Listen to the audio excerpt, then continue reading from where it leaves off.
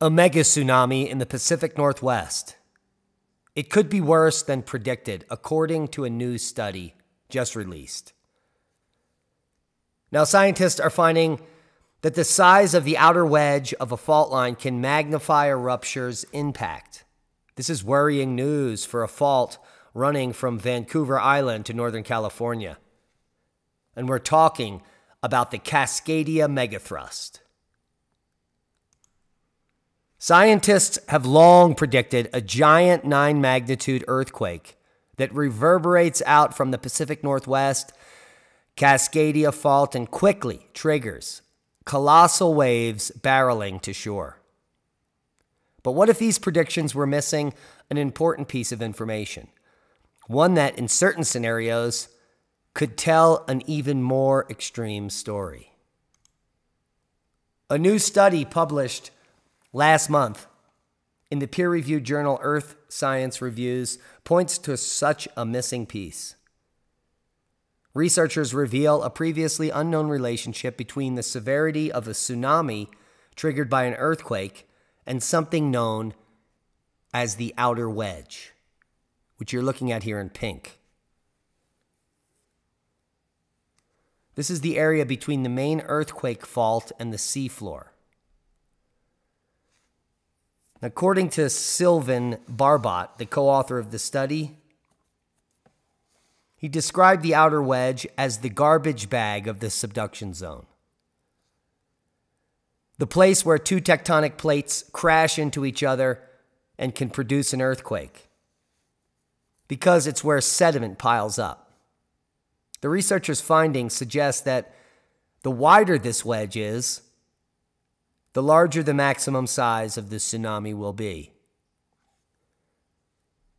The connection adds a new element to consider when making tsunami predictions.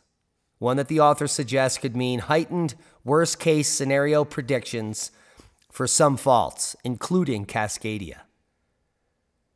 There are places where the outer wedge is tiny, so that's great news, said Barbot, an associate professor in earth science at University of Southern California. And there are places where this wedge is huge. And that is the case in the Pacific Northwest. For about two years, he and co author Quang Kui of the South China Sea Institute of Oceanography studied 11 tsunami earthquakes that have taken place across the world over the past 200 years. And these rare events involve less powerful earthquakes. The authors looked at those measuring from 7.1 to 8.2 magnitude that produce huge tsunamis and have long puzzled scientists. And what they found was a correla- correlative relationship between the maximum tsunami height and the outer wedge. The wider this wedge is, Barbot explained, the more faults there are, and the more chances there are to move the seafloor, and thus the more extreme the tsunami will be. Imagine a bookshelf full of books. And you take the books and you tilt them at 45 degrees. The interface between any book is a fault. And so, in an outer wedge, you have all of these books and all of these faults in between. And then they can provide a pathway for the rupture to go up instead of going left, he explained. From there, they use these findings to make tsunami predictions about dozens of other ap- active subduction zones around the Ring of Fire. A nearly 25,000 mile path where most of the earthquakes, the large world's earthquakes, occur. And towards the top of that list was the 600 mile Cascadia subduction zone, the Cascadia megathrust fault. It runs from Vancouver Island, Canada, down to Northern California. And it's poised for its next large earthquake. The last big earthquake on the Cascadia fault zone, the last big one, was back in 1700, which is this red line here. And as you can see where we are here, is one of the largest gaps in history, except for these back in antiquity. So there's a very high chance that the Cascadia fault will rupture very soon. Very soon. Current estimates point to about a 15 chance of a 9 magnitude earthquake in just the next 5 decades. That would be empire ending.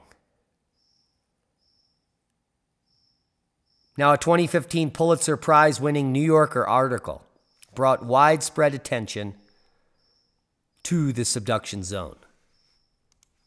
In the article, described the next full scale quake as the worst natural disaster in the history of North America.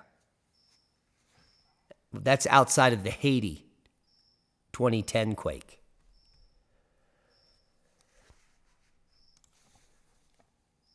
Now, the site, according to the authors, has a fairly large outer wedge running between 15 and 43 kilometers. And according to their research, that suggests that a tsunami triggered by a 9 magnitude earthquake could reach higher than the 200 feet or 61 meters proposed. Although there's a range of predictions for the big one, that's roughly twice as high as some of the most severe previously considered scenarios. And when compared to the 30 other subduction zones analyzed by the study's authors, Cascadia was ranked fifth in terms of tsunami severity.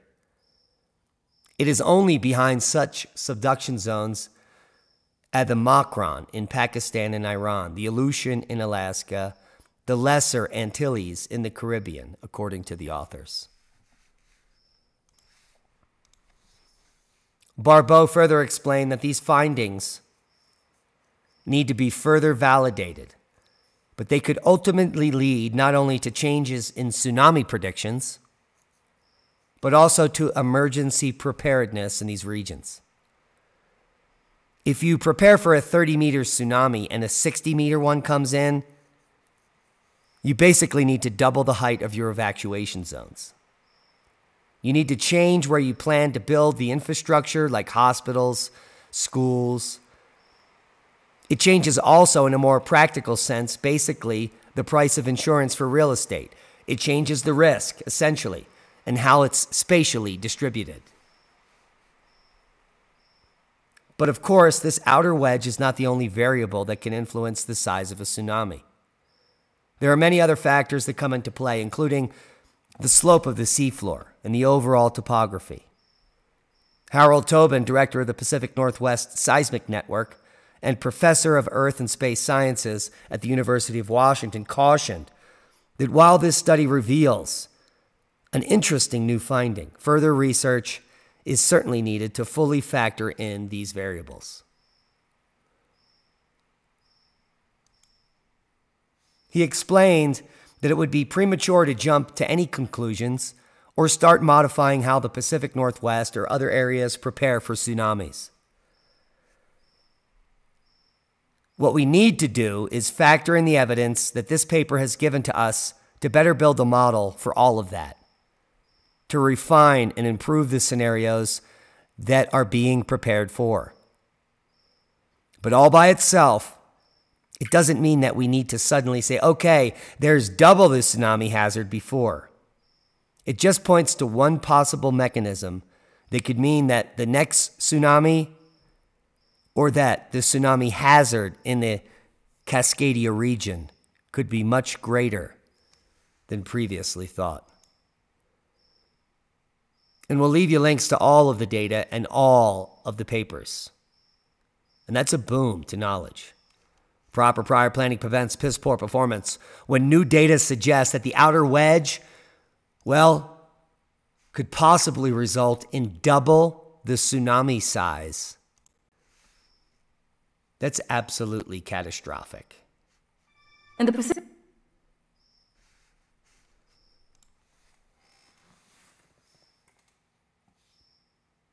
And this particular model is the one that they said needs to be adjusted to twice the scale, especially for the Pacific Northwest. And that's frightening,